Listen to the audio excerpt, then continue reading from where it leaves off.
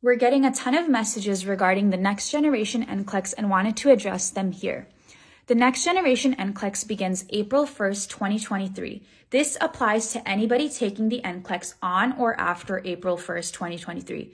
It doesn't matter what year you graduated. It doesn't matter if you graduated before or after a specific year. This is changing for everyone in general beginning April 1st, 2023. The minimum number of questions that you will see on the next generation NCLEX will be 85 questions and the maximum will be 150 questions. The time limit will still be five hours, but some people might have accommodations, so this can vary. There will be 15 unscored questions within the minimum length exam.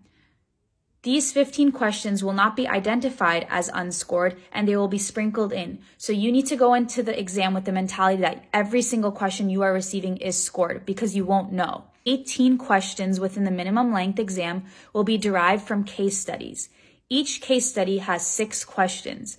You, that means you will receive at least three case studies on your NCLEX. Another important thing is if you get 85 questions, the minimum length, 18 of them will be from the case studies, but the remainder will be standalone questions. Those can be traditional questions like we see on the NCLEX now, or they can be next generation style, such as highlighting the correct answer or using a drop down menu or even a bow tie question.